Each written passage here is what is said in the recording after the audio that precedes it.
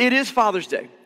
And I was just thinking this week about one crazy fact is that I have now been a dad for almost 17 years. And so here's the problem with that I still have no idea what I'm doing. No clue, no idea. And every time I think I get it figured out, I mean, I got a, a son who's almost 17, uh, a daughter who's 13, going on 36. And so I'm trying to catch up. And every time I think I understand how to be a dad, I'm wrong. I'm wrong. They grow up, they get older, they get a new job or like a girlfriend or, a, or like a new hobby or a new thing that they're doing, or they get taller than me. And I'm like, how do you deal with that? And he's constantly saying, I can beat you. And I'm like, you'll never be able to beat me. And this is the ongoing conversation that we have. I have no idea what I'm doing as a dad. Is anybody with me? Anybody with me? Okay, cool. Just so I know I'm in a good club, you guys who didn't raise your hand, you're liars. You're liars or you're not fathers. So those are the only two options there. Um, the thing is, it's gotten a lot easier for us recently, though, as parents, because my, par- my kids have gotten better about fighting.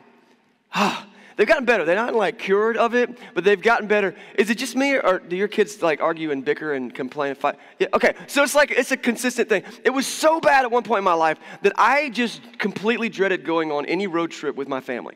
I just couldn't stand it because I was afraid that I might commit murder.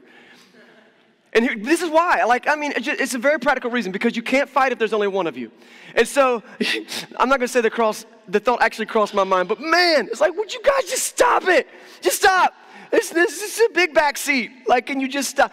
So they got better. It's so bad. But if you have had a sibling in your life, you understand. It's a rite of passage.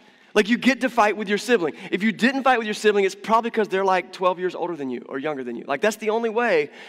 And so it makes me think, God bless my mama. And my mom, man, I have a brother. I've told lots of stories about my, my brother Jason. He's also a preacher, and he was here one day, just roasted me. He's pretty good from stage. It was awesome. And uh, like, but I think I personally owe my mom and dad a big apology, and I've given it to them many times for being difficult, especially in when it came to conflict with my brother, because we would go at it. i have told lots of stories, cause I, so I can't remember which one I've told before. So I'll tell some of my favorites. Um, my favorite is probably one time we were in the backyard, we were arguing over something, and he was like 10 feet away from me, and so I just raised our BB gun and just shot him. Bam! He was like, ah! I think he was like eight years old. And uh, you guys aren't laughing hard enough because this was a good moment of my life. I shot my brother, and then he's like, ah, I'm gonna tell mom. I'm like, no, no, no, don't tell mom, don't, no. I got an idea, don't tell mom. So what I do, I take the BB gun and I shoot myself right in the foot.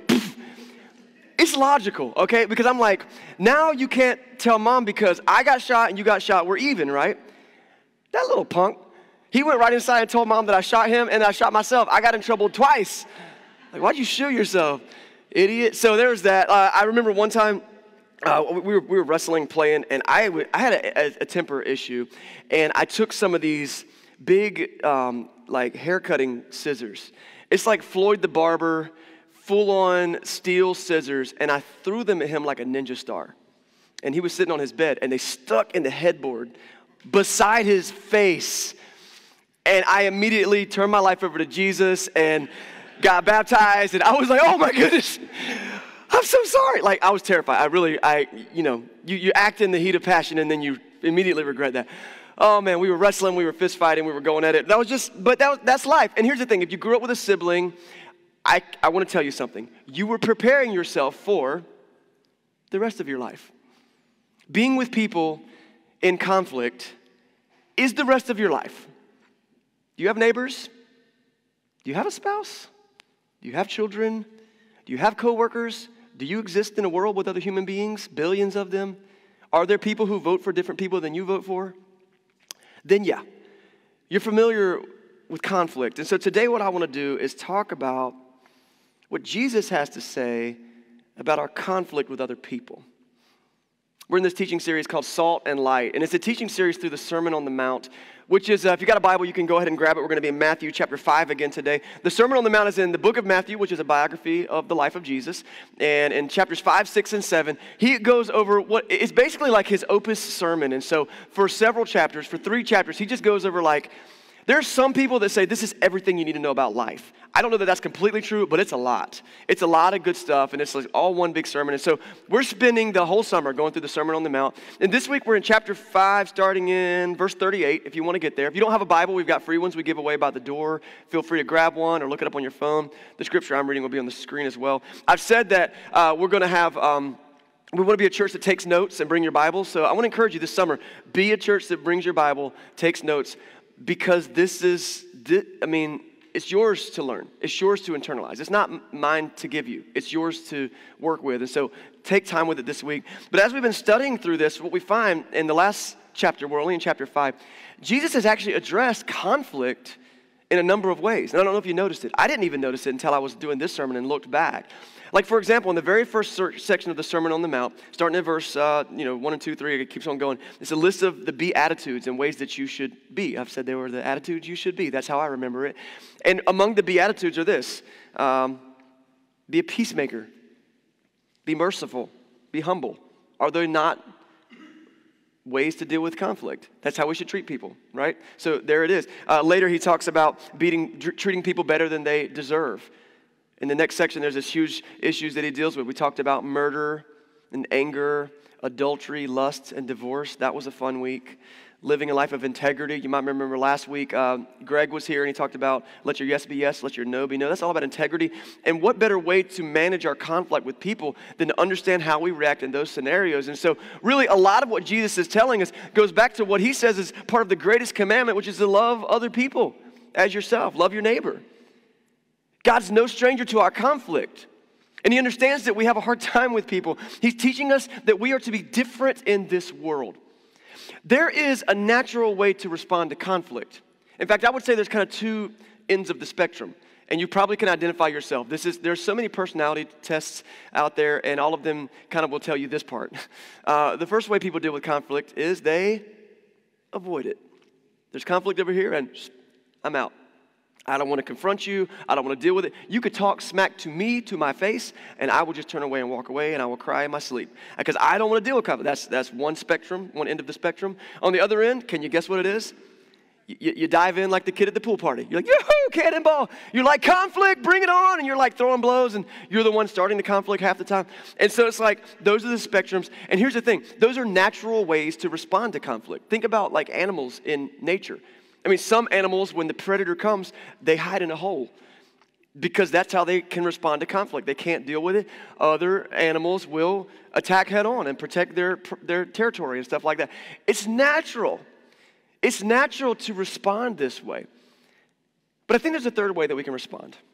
And I think this is what Jesus is touching on as he continues in the Sermon on the Mount today, starting in verse 38. It, I think the third way is, an, is not a natural way. It's what I'm going to call a, supernatural way. It requires the help of God for us to do it because we're not going to re- respond the way that we naturally want to. I had a friend, this is a total side note. You can talk to me about this later if you want to, but I had a friend this past summer, last summer, and he heard someone say the word supernatural. And he said, I hate the word supernatural. This guy is a very learned, he's a missionary in, uh, in East, Eastern Europe. He's multilingualist. He works for Pioneer Bible Translators, smart, smart guy. He said, I don't like the word supernatural. I said, why not? He said, because there's no such thing. I was like, yeah, there is. He goes, no, I mean, God made it, and that's all there is. It's not like he made two existences. I, that's just more philosophical than theological, but I was like, that's a good point. But we're going to use the word supernatural here today because we're going to need God's help we're going to need God's help because we like to hide and we like to fight. So let's see what Jesus has to say. We're in Matthew chapter 5, verse 38. Jesus starts like this You have heard that it was said, eye for an eye, tooth for a tooth. Pause right there. You can just leave it on the screen. So, once again, this is part of the Old Testament code. And so, many times throughout this sermon, Jesus says, You have heard it was said do this, do this, do this. Generally, he's referring to something in the Old Testament. And uh, actually, this phrase, this is a pretty well understood phrase. Like almost all cultures across all time have used this. And this actually predates Mosaic code. It's from Hammurabi's legal code. I mean, that, if you know the history stuff, I see a lot of you shaking your head. The others, don't worry, it's on YouTube. It's before the law of Moses was even written. It is just a basic standard of respect. And it says this eye for an eye, tooth for a tooth. You hit me, I should be able to hit you. Things should be fair. Now we're even, now it's over. That's why I shot myself in the foot with the BB gun. It's Hammurabi's code. Moses liked it. God liked it. It's not ungodly. It's not terrible. But he says this You have heard it said, eye for an eye, tooth for tooth. But I tell you, do not resist an evil person. In fact, if anyone slaps you on the right cheek, turn to them the other also. And if anyone wants to sue you, and take your shirt, hand over your coat as well. If anyone forces you to go one mile, go with them two miles. Give to the one who asks. Do not turn away from the one who wants to borrow from you. Man, so what Jesus is talking about here is so big. Jesus, one thing I've noticed about Christians is that we, I'm, I'm going to broad stroke paint Christians, okay? So I don't like to do that because we're not all the same. I'm confident of that. We all have the same Lord, but we respond to the world differently. One thing I've noticed on a grand scale, though, is how angry Christians get about stuff. We just get angry. I mean, we will throw a fit and we will boycott you so fast and we will shut you down and we will tell you that you're going to hell because we're angry. And I get it. There's righteousness, and we've talked. There's actually a whole sermon on anger uh, a couple weeks ago in this series. Go check it out on our podcast or, uh, or on our YouTube. We've got a, a, playlist for every sermon series, and there is a place for that. There's a place for righteous indignation. There's a place where we should say, "Someone's going against the holiness of God. I need to stand up for that." But sometimes, though, we take that and we put ourselves on this pedestal, and we're like, "How dare you? Do you know who I am?" and we just puff our chests out and this isn't about the emotion of anger, okay? You can feel angry about something. What Jesus is talking about is our, our response. Like, not just how do I feel, but what do I do? What words do I say? What do I do with my hands or my BB gun? what, do I, what do I do because of the way you've made me feel? And so you can read about this eye for an eye, tooth for a tooth rule. Uh, Exodus, if you're a note taker, Exodus 21 and verse 24, Deuteronomy 19, verse 21. And this is just some of the places where some of that code is talked about. And God's all for it. He's like, listen, things should be fair. You should deal with things. There's, there's, a, there's a way to do this. But Jesus says, here's what we're going to do. As Christians, we're going to raise the bar. And this is kind of my summary of Jesus' statement. Basically, kindness will transcend retribution. Just let that sink in. Kindness will transcend or rise above or be more valuable, more important, more powerful than our retribution or, or our desire to strike back. You hit me, I'm not going to hit you. Instead, I'm going to treat you with kindness. And this is all sprinkled throughout the Old Testament as well. There's this concept. My grandma used to say, Did you ever hear this phrase that you should, you should be kind and it will, it will heap burning coals upon their head? And I was like, Grandma, that doesn't sound kind at all. but what it means is like when you, it, you, maybe you've heard this phrase, kill them with kindness. Okay, so if you're really nice to someone and they're being mean to you, it de escalates things. And there, there's a point at which they're like, actually, I, I'm actually just being a bully right now. But if you meet them where they are, then you are just continuing to elevate it. And so Jesus says, listen, kindness will transcend retribution. And so he gives us a couple of examples. Uh, and this is a classic thing. He gives us three things the slap, he gives us the shirt, he gives us the mile the slap, the shirt, the mile. Okay, so I want to break these three down because these are very specific things to this first century Jewish culture, but I think they overlap to who we are today as well. Let's just talk about all three of them. Uh, first of all, the slap. Uh, as in many cultures, um, you know, the slap is a form of disrespect. Okay, and so I think of the cartoons with some cartoon that's like got a French accent, and he's like, I slap you in the face, and he's got this glove, and he slap. I, I don't know, I think that's like, I don't think French people actually do that, but I do think it gets the point across that when we feel offended, I'm gonna slap you in the face. In American culture, we don't do the physical slap quite so often. We actually take, uh, we, we, take like, like shots below the belt in terms of like words that we use against each other. We will attack people on social media. We're very passive aggressive and we use sarcasm. We mask, we mask our slaps in sarcasm and we take shots at people. But this is the whole idea of the slap, and I want to give you a category of what I think this kind of covers. This is like person to person conflict. So I got a problem with you, my neighbor. I've got a problem with you, my boss or my coworker. I got a problem with you, my spouse or my child, whatever it is. And I don't know how to deal with this, so I'm going to slap you.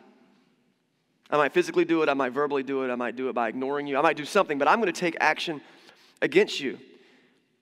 This is probably a conflict that you face more often than any other conflict.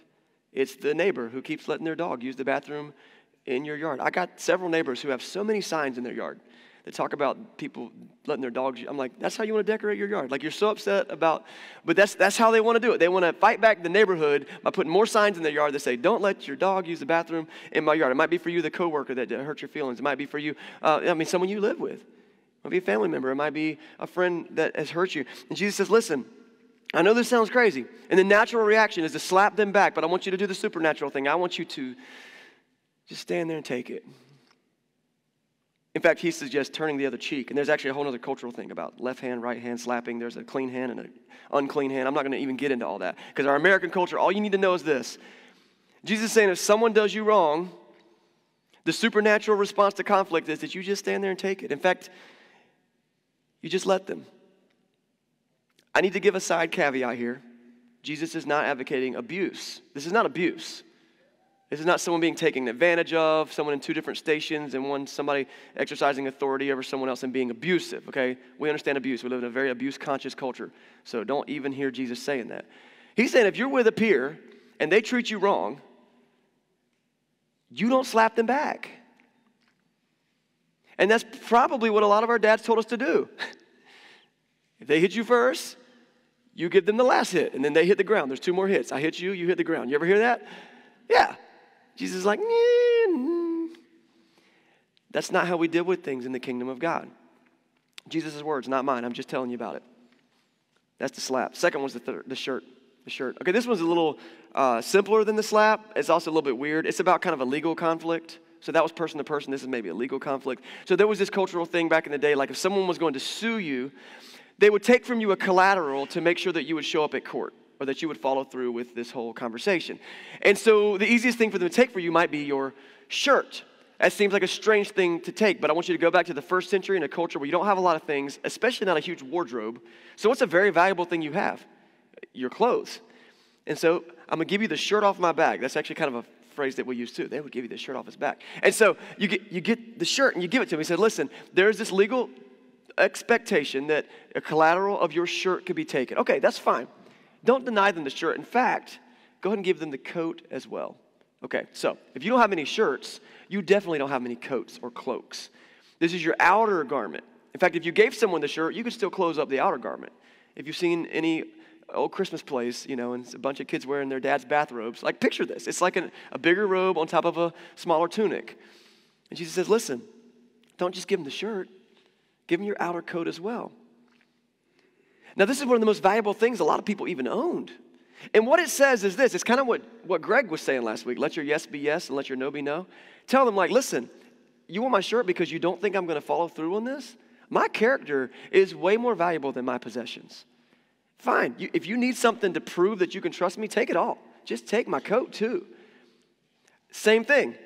It's like giving them the other cheek. The person goes, oh, because what, what, are they likely to say? Oh, no, no, no, no, no, no, no. You don't have to give me it. No, take it. No, you don't have to give it. No, take it. You don't have to give it. Oh, you wanted my shirt a minute ago. I want you to take the coat too. Now, you got to be careful with the passive aggressive, you know, stuff behind that. It's just like, no, seriously. I, I'm offended that you think my character is not valuable enough, that I wouldn't show up at court. I want you to know I will be there for this coat. That's the shirt. There's a lot that Christians could talk about in legal dealings, and I don't even know that that's the point of this whole teaching for Jesus. I mean, there's this whole thing that among Christians, we really shouldn't be taking each other to court. Uh, because what does that look like to outsiders? Like, you guys, you Christians, you claim to have like this better way of life, but you can't even deal with each other without going to the courts. You know, that, that's, that's in the Bible, also just Jesus' words. But the whole idea is like, we need to be people of such integrity that people will know that they can trust us. And we will go that extra step and give them the cloak as well. Jesus wants us to value our character of, of peacemaking and kindness way more than we value our possessions. So there's the slap, there's the shirt. And now the third one, the mile. The mile. Um, so we've dealt with personal conflict, we've dealt with some legal conflict with people, but now let's talk about the government, because it's my favorite thing to talk about from this stage. I, don't, I won't do it, it's a waste of all of our time. Um, but have you heard conflict within the government? Anybody, any whisperings? Or, I mean, I don't know if you've heard something. There's some government stuff, okay? Uh, if you think we've got it bad, you should try being a Jew that lived in the first century, occupied by Romans. It was rough, okay? And so remember who he's talking to here. This is the people who hated their government. There were sects of their people who were actively trying to kill government officials and soldiers. Americans would flip out over what they had to do there was a custom, a law, that said if a Roman soldier came to you a subject, they could come to you and say, Carry all my stuff. Like, so you're a Roman soldier, you might have like a backpack with all your food and stuff in it. You might have some heavy armor or some swords or something. I don't know. Just put it all on you. And there was a law that said that if he asked you to do that, you had to carry it for one mile. He couldn't ask you to carry it for more than a mile, but he, you couldn't tell him no for one mile. And if you said no, they could beat you up. Like, okay, so that's not liberty, that's not freedom, but it was the law. And Jesus says if someone asks you to carry something one mile, carry it for them two miles. This isn't just about customer service. Service with a smile, go the extra mile. And we, we use this phrase in a trite manner, like just do it a little bit better. Jesus is like, listen, even when people are oppressing you, you take the high road. And it's not natural. None of us want to do that. But the kingdom of God is an upside down kingdom where we act differently to the world around us. We don't respond on Facebook the way that other people respond on Facebook. We don't rant and throw a fit and make a fool of ourselves. I love my, my son works at the Chick-fil-A up on Market Street, and his boss has this phrase when people when people are just like acting a fool at a, at a, have you ever been to a fast food restaurant and somebody just decides to throw a fit like a child like i want more ketchup i don't know what you're upset about and so he will say to grown people all the time okay let's just settle down let's act our age that's what he says to grown-ups. I love it. I love it. And he does it in such a kind way. He's a good Christian man. Let's act our age. But guys, let's, let's act our age. What Jesus wants us to do when the outside world sees us is that even when the government is evil and against our morals and our principles and what we want to do, he says, you carry it the extra mile. Does he say compromise your morals? No. Does he say go against God and live an unholy life? No. But as it's in reason, you show them we're a people who can take it. And we're people who will love first and show kindness first. That's the mile. Again, Jesus isn't advocating abuse. He's just saying, look, we take the high road every time. And it's not natural. That's why it takes supernatural help. That's why it takes accepting Jesus as your Savior. This is a big part of the salvation process. When we accept Jesus as our Savior, Scripture says that when we're baptized into Christ, we're given the gift of His Holy Spirit. Okay? His Holy Spirit coming to live in us, that's where we get that extra help from. And even if you haven't accepted Christ yet, His Spirit is around us everywhere. It's the presence of God. But when He moves into our life, I've explained it like a, like a roommate moving in with us, taking up residence in our soul with us. I don't know how it works, but like He's got bunk beds now. We rearrange our life to match Him being there. And then when we're weak and we don't know what to do and we don't know how to respond, we can lean on that. We can pray. We can ask ourselves, how did Jesus respond in the face of conflict? And let's look at the rest of what he says, because he's not done. Verse 43 You've heard it said, love your neighbor and hate your enemy. I need to clarify. This is not from the law of Moses. This is the one place I think, I, I, I, wasn't able to find this anywhere else in the Bible. And this is just like, yeah, some people have said this. You've heard it said, love your neighbor and hate your enemy. But I tell you, love your enemies and pray for those who persecute you, that you may be children of your Father in heaven. After all, he causes the sun to rise on the evil and the good. He sends rain on the righteous and the unrighteous. In other words, hey, you ain't special. You live on the same planet Earth as everybody else with the same God. You've had failings just like they have. You might not be getting along with them right now, but they have the same God that you do, even if they're not honoring Him. 46. If you love those who love you, what reward will you get? Are not even the tax collectors doing that? And if you greet your own people, what are you doing more than others? Don't even pagans do that? Be perfect, therefore, as your heavenly Father is perfect. So he gets right to the point. And I got to remind you, he's talking to a first century Jewish audience. No people group in history has been persecuted and mistreated more than the Jewish people. And it predates this moment. Thousands of years before, they were mistreated, kicked around, been mean to, enslaved. Jesus is talking to these people. He's talking to, talking to a group of people who very soon will become Christ followers many of them who will be persecuted for their faith, put to death for their beliefs by their enemies. It's almost as if Jesus is just getting ahead of the situation, saying, Listen, it ain't going to be easy following me. If you thought it was going to be easy, someone didn't explain it to you well. People are going to be against this. And we don't lash out at them. We love them and we pray for them. And that's what we do. And that's hard to hear. If you love people who love you, what good does that do? Don't the tax collectors and the pagans do that? Yeah. And then he says this last phrase, and, and this is like, it seems um, unattainable, but it actually is more attainable than you think. That phrase, let's see if we can put that back up there. Do not, eat, oh, sorry, be perfect, therefore, as your heavenly Father is perfect. Uh, you think about perfection, and you're just like, perfect. I mean, I can't be perfect. We have a very loved phrase nobody's perfect. That's how we can justify anything. Nobody's perfect. I love the word perfect uh, in the original Greek as it was written here. It has a couple different understandings and definitions, and, and probably a more common understanding for the word perfect is actually complete or mature. So let's rephrase that be complete or mature as your heavenly Father is complete or mature. The idea of perfection is like you're doing the best that you can do. You've attained your highest self, maybe the best version of you that you can be. That's a phrase that we use. Be complete and mature as your heavenly Father is complete and mature. And let me show you how he did it. Romans chapter 5 verse 8.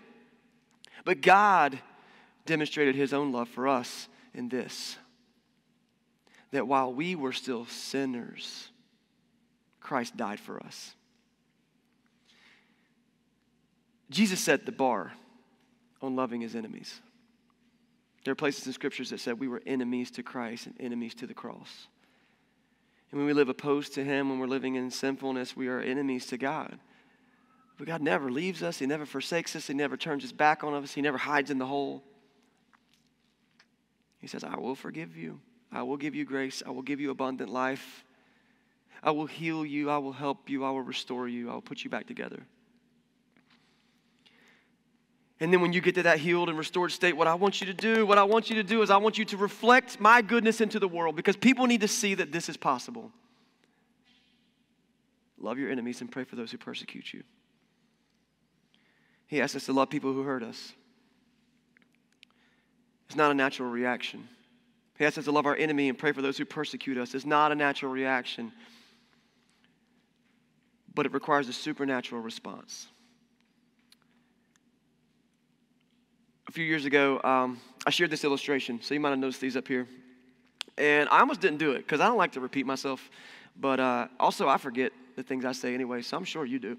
Um, so if you see these and you recognize them, you're like, aha, there are the buckets. I remember the buckets. What were the buckets about? I'm about to tell you. Listen, every day you wake up and leave your house with two buckets. Aren't they pretty? My wife bought them at Walmart for me this morning because I forgot. You have two buckets. One is full of gas, one is full of water. Every day you're going to encounter conflict. And the way you respond to that conflict, and there is only one way, is by using one of these buckets. You can either pour gas on the fire, or you can do what you can do to de escalate the situation. Gas, de escalate. Notice I didn't say solve. You don't always put the fire out. Ask the poor firefighters that are out in Brunswick County right now trying to figure out what's going on in that forest fire. I mean, it's not always a perfect situation, but you can do your best to de escalate. So every day you leave your house with two buckets, every day you're going to experience conflict, and every time you experience conflict, you're going to use a bucket. Which one will you use? My question for you this morning is which one is your default bucket? Are you one to pour gas on it? Stop it. Stop it. It's not helping anybody. It's not helping you. The only thing that helps when you pour gas on the fire, the only thing it does is burn people, burn yourself, burn extra people who aren't even involved sometimes. This is natural. But this is supernatural because this isn't just water. Jesus says that He is the living water, a spring of living water from which we can drink and never get thirsty. It's in the book of John. And it takes some time to fill this bucket. You kind of come, this is stocked. Um, you ever seen a baby? I mean, psh, they come with that. this takes practice, it takes diligence, it takes community, it takes decisions. You might not know what water to pour on, but you don't have to slap. You might not know what water to pour on, but you don't have to keep your shirt you don't know what water to pour on, but you don't have to refuse to walk the mile. You can take the first steps that you can take. And then you learn over time to tap into God's power in your life. You learn from His Word. You learn from His examples. You learn from being in Christian community and sitting with people across the table. The biggest growth I've had in my life has been sitting across from coffee tables with any number of you and just talking. How'd you do this? How'd I do that? Oh, wow. And I guarantee you, every one of you taught me something about how to fill this bucket. And so, what's your default bucket? And how can you go from a place of pouring fire, pouring gas, to, to pouring the living water? Um, I just want to close this out with a challenge today. And I, I don't know another way to say this. It came to me, and maybe it's helpful for you. That this is our challenge. The challenge this week is this we got to learn to be a firefighter, not a people fighter. Because it occurred to me that a lot of times when we see conflict, what we see is problems with people. And the last thing that I've got to leave you with and remind you with is that your problem is not with those people. The Apostle Paul tells us in the book of Ephesians, he says, Our battle is not against flesh and blood, but against the rulers and the powers and the authorities of, of evil in the heavenly realms. Spiritual forces of darkness. Now, that might maybe sound like a crazy person, but man, these are forces that Jesus openly talked about and fought. They are the things that pull our world away from God. And the reason we need His Holy Spirit in our life, because that's the only power in this earth that's strong enough to make it through all of that other conflict. Your struggle is not with that neighbor, it's not with your kids, it's not with your spouse, it's not with your coworker. It's a spiritual struggle, and the only way to de escalate that spiritual struggle is to be filled with the living water of God's goodness. You get that by being in His Word, by being regularly meditating and praying, by growing just by being like that. You get better at it. If you don't feel like you're good at it, congratulations. I've been a dad for 17 years and still have no idea what I'm doing. I've been a Christian for much longer and still struggle every day. But God's grace is sufficient because He demonstrated His own love for us in this that while I was still a sinner, He gave His life for me and for you. And so, how do we be salt and light? Well, we put down the gas can and we learn to carry the living water. the slap, the shirt, the mile. Love your enemies. Pray for those who persecute you. Be salt and light. Let's pray.